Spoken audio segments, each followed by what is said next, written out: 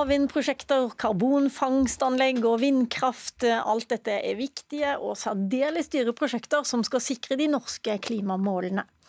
Men i Nettavisen så tar du, FpU-leder Simen Velle, til orde for å sette store deler av norsk klimapolitikk på en pause. Og så vil du heller bruke milliardene som er satt av på tiltak i utlandet. Hvordan skal du begynne det? Jeg vil ikke nødvendigvis bruke like mange penger som Høyre og Arbeiderpartiet ønsker å kaste på disse store satsingene i Norge eh, i utlandet. Men jeg påpeker en, et ganske sånn egentlig et litt sånn latterlig paradoks i norsk politikk. Fordi omtrent uansett hva man snakker om i politikken i Norge, så er kost-nytte et sånn veldig viktig prinsipp for mange. Det handler om å få mest mulig ut av hver krone man bruker, og det mener jeg er et godt prinsipp når man tross alt bruker skattepenger. Men så fort man snakker om klima, da kastes milliarder etter alt mulig rart av prosjekter, og norske politikere har en veldig for å si det mildt, en dårlig historikk med å kaste penger etter klimaprosjekter. De går veldig ofte over budsjett, og de er sjeldent Eh, sjeldent effektive. Så, Men eh, Du har bl.a. sett på de 23 milliardene nå da, som skal gå til havvind i mm. Norge. Hvor mange av de milliardene mener du skal gå til India istedenfor? Det jeg i utgangspunktet ønsker, det er at norske politikere skal fungere mer som døråpnere og brobyggere for den norske industrien, og sørge for at vi kan starte våre viktige industrieventyr på de stedene i verden hvor klimagassutslippene virkelig er prekære. Fordi i Norge så har vi allerede en energimiks som er ganske grønn. Norske strømkunder de får i all hovedsak levert vannkraft. Men, men, sånn er det jo ikke i India, ikke sant? eller Bangladesh eller Singapore eller, eller, Indonesia for den saks skyld. Land som har store klimagassutslipp. Det jeg ønsker, det er at de musklene vi har, de musklene som industrien vår har, skal brukes på å kutte utslipp der det monner mest, og det er ikke Norge. Snakker Simen Velle på, på eh, vegne av hele høyresida i ungdomspolitikken? Ola Svenneby, du er leder i Unge Høyre. Nei, det gjør han nok ikke. Men jeg syns ikke dette er et spesielt uh, godt argumentert fra høyresiden heller. For argumentet her er jo egentlig at alle andre bruker penger på mye dumt. Derfor vil vi bruke de pengene på noe annet dumt i stedet. Og det syns ikke jeg er spesielt godt. Jeg syns derimot det er ganske uklokt og helt hodeløst si at de pengene vi nå bruker i Norge, skal vi investere i India eller Kina, da, eller India som var nevnt som et eksempel, som er en av verdens raskest fremvoksende økonomier. Eh, og hvor vi da egentlig vil finansiere deres grønne skifte, som gjør at de får en konkurransefordel overfor Norge, som gjør at vi i neste omgang igjen egentlig har finansiert det som kan være med på å utkonkurrere norsk industri og norske arbeidsplasser, det er både økonomisk svært lite intelligent, i tillegg til at det er ganske dårlig klimapolitikk. Ja, hvorfor skal man egentlig det, Simen Velle? Men Nå tror jeg Svenneby kunne gjort seg en stor tjeneste med å lese hva jeg faktisk sa. Eh, for jeg er ikke interessert i å bruke alle disse pengene i India. Det ikke alle, men ganske mange. Nei, men ikke ganske mange heller. Nei. Betydelig mindre summer enn det man snakker om på norsk sokkel og, og i Norge. Er det, det er... Et, er det egentlig det at du ikke vil bruke penger på dette? Nei, ikke det hele tatt. Det jeg ønsker, er at de skattepengene vi bruker på klimaløsninger, og alt annet for den saks skyld, brukes på en mest mulig effektiv måte.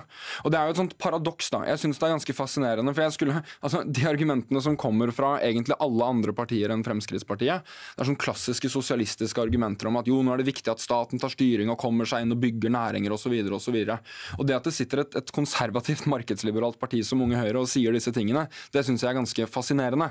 Fordi jeg har ikke sagt noen Men er det ikke konservativt og markedsliberalt at man skaper arbeidsplasser i Norge f.eks.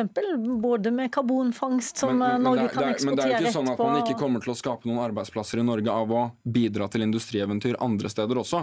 Når man kommer med norske avtaler som norske selskaper hiver seg på, så skaper man både velstand, vekst, velferd og mange arbeidsplasser i Norge. Jeg er på ingen måte interessert i å flagge ut arbeidsplasser eller milliarder av skattekroner. Det jeg er interessert i, det er at de pengene vi bruker på klimainvesteringer, skal brukes mest mulig effektivt. Og så er det åpenbart at hvis man erstatter et kullkraftverk i India med f.eks. flytende havvind, så har det en mye større effekt enn hvis man erstatter norsk vannkraft med flytende havvind. Og Jeg har ikke tatt til orde for noen ting annet enn at vi skal bruke pengene der det monner mest, bruke muskelkraften vår og industrien vår der vi virkelig får gevinst for den, og det er ikke på norsk sokkel. La inderne få den flytende havvinden, Ola Svenneby. Men her er det et resonnement som ganske tydelig ikke henger sammen. Fordi Simen, du kan ikke på den ene siden argumentere med at du ikke skal gi bort norske skattepenger til India, for du på den andre siden sier at vi skal bidra til å eh, drifte et industrieventyr der. Utgangspunkten for denne debatten var en Nettavisen-artikkel hvor du sa at du ville gi de pengene som skulle gå til norske klimatiltak, skal gå til India i stedet. Og det syns jeg er en dårlig idé. Og alt det du sier om det vi skal bruke pengene der det er mest effektivt, helt enig. Der vi skal se på nye internasjonale systemer, også helt enig. Jeg bare tror at man kommer seg ikke unna at også i Norge er nødt til å føre klimapolitikk, og politikk som ikke nødvendigvis er lønnsom. Hvis man f.eks. ser på utvinningen av mineraler så kan det helt fint hende at det ikke bare er økonomisk lønnsomt for Norge.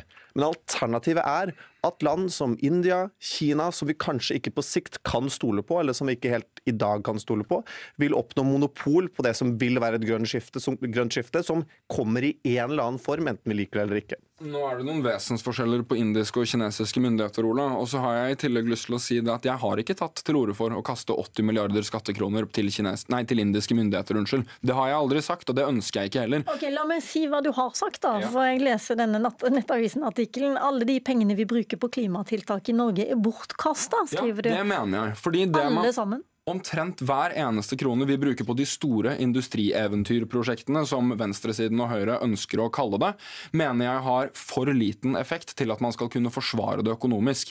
Det jeg ønsker, det er at hver eneste krone vi bruker på klimakutt, hver eneste hjernecelle, hver eneste arbeidshånd vi bruker på å kutte klimagassutslipp, skal brukes der hvor det monner mest. Og så er, du på ingen måte enig med meg, Ola, når jeg sier at det skal brukes effektivt, fordi du er for å elektrifisere sokkelen. Dere er for det såkalte såkalte havvindeventyret. Og det er ikke effektiv bruk av norske skattepenger, og det er heller ikke effektive klimakutt. Det er det eneste jeg påpeker. Men, Simen, her må du, uh, Det du sier henger jo ikke sammen. Nå sitter du nettopp og sier at alle hjernecellene, alle mulighetene vi har til å kutte utslipp, det skal vi gjøre der vi kutter mest. Det vil jo bety at det skal være enorme pengeoverføringer fra Norge til investeringer i utlandet. De investeringene mener jeg at det er et selvstendig poeng at man både prøver at kutter utslipp i Norge og bidrar til arbeidsplasser. Ta kort om elektrifisering.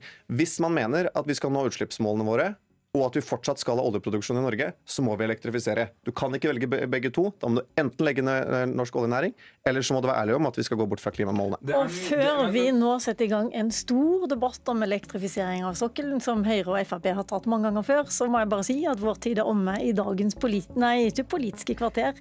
Det er på morgenen. Nå er vi på Dagsnytt 18, og i studio satt Lilla Sølhusvik, som av og til er i Politisk kvarter.